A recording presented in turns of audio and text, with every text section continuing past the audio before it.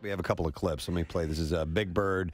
Oh man, this is when he found out Mr. Hooper died. This was cited as one of the most pivotal moments uh, in television and, and one of the absolute most pivotal in uh, children's television when, when uh, a beloved character passed Yeah, yeah. and they had to address it on the show. The actor passed away. Yeah. And so they decided to go at it and and, uh, and give it a, a try. And if you didn't know Mr. Hooper, there was a, a shop. It was like a, it was essentially a convenience store of sorts. He had food. They had pretty Yeah. much everything you could buy, and he was just this great, sweet character. So Right. this is it. Where is he?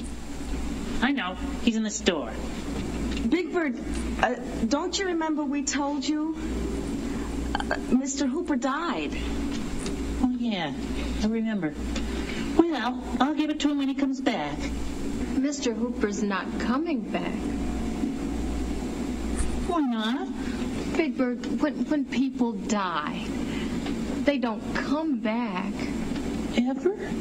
No, never. Well, he's gonna come back. Oh man, It won't be the same. this is ripping my heart out over here. I better go get the shovel.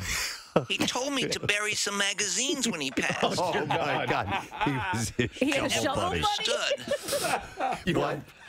I never understood. But I guess now I have to bury those two to three hundred magazines he showed me. You are ruining my childhood.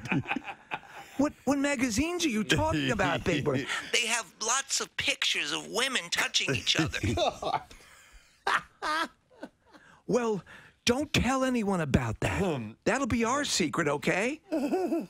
Too late.